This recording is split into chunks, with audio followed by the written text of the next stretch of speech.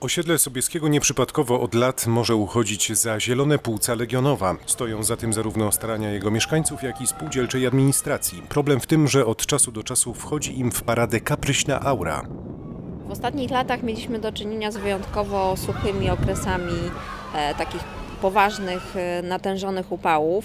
E, w związku z tym e, w skali całego osiedla sporo drzew uschło i to drzew tych większych, starszych musiały zostać usunięte ze względu na ewentualne zagrożenie. Strata wielu roślin spowodowała konieczność uzupełnienia drzewostanu. I tak właśnie pracownicy administracji systematycznie robią, starając się wcześniej ustalić, gdzie najbardziej tego typu zabieg jest potrzebny.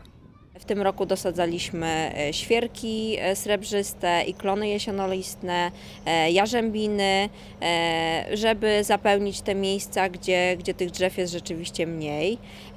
Wykonaliśmy też modernizację terenu zielonego przy bloku 201. Wcześniej ze względu na gęste, częściowo odsłonięte korzenie licznych drzew nie przyjmowała tam się nawet trawa. Dlatego pracownicy SMLW postanowili zrobić coś, czego w spółdzielni dotąd nie praktykowano. Zdecydowaliśmy się na zastosowanie mm, takiego, można powiedzieć, podniesienia terenu przy pomocy podkładów kolejowych, e, nawiezienia nowej ziemi i dopiero na tej nowej ziemi e, założenia nowego trawnika i posadzenia kilku roślin ozdobnych. Wygląda to bardzo ciekawie.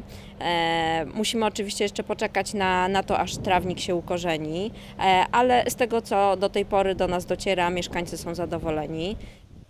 I tak zapewne zostanie, bo podkłady kolejowe doskonale sprawdzają się w ogrodnictwie. Przede wszystkim nie próchnieją i stanowią atrakcyjną, rzadko spotykaną ozdobę. Tak samo jak posadzone w połowie maja na osiedlu młode wierzby czy bluszcz.